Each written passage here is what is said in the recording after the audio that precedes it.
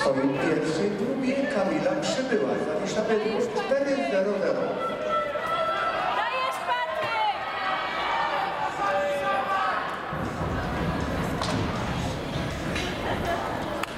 Zwycięzcą